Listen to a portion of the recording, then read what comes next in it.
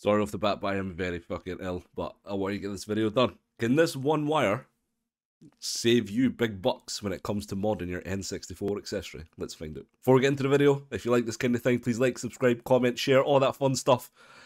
And let's get stuck in. So the N64 Rumble Pak was first released in 1997 and it came out with the game Star Fox 64. And I actually think this is the first kind of haptic feedback device that was ever released on like a grand scale. In the past I have done a video modding this very device but it was a bit more complicated, we have to remove capacitors and resolder them to other points and things like that. But with this new method you're able to just connect two points to get that battery free mod all you need is one wire and some kind of beginner soldering skills.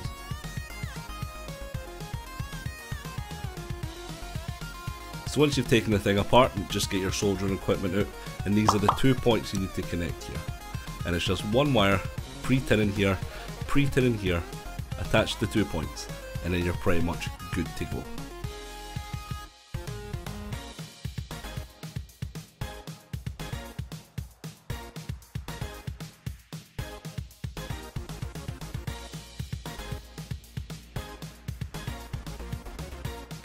Now this was mostly just a thing out of curiosity, but I had this PlayStation 2 Rumble just kind of lying about and I wanted to see if it would function in the N64 Rumble Pak.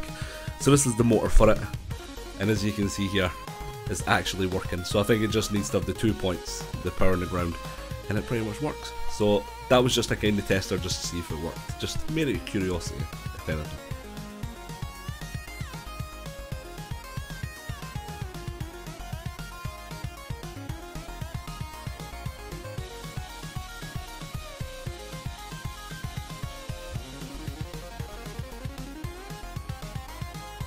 But with that curiosity quashed, I decided to reattach the, the original N64 motor now.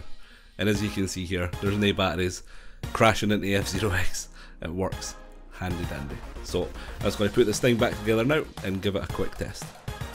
Now I think the only problem with this mod is you can only run two rumble packs instead of the four if you're not using batteries because I think the N64 can only supply so much power so I think it's only two if you're using this mod. I think one's fine. I've no try. I've no tried two because I've not got the second one.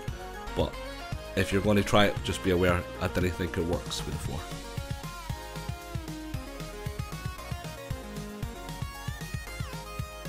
So everybody, please let me know down below what you think of this mod. Is this something you're going to try? Do you find this a useful feature, like a useful mod to save you some bucks on batteries? Personally, I think it's handy dandy, and I'm definitely going to try and use this as much as I can. So guys, please like, subscribe, comment, all that fun stuff, and I'll see you in the next one, and hopefully I'm not be as sick. Bye for now.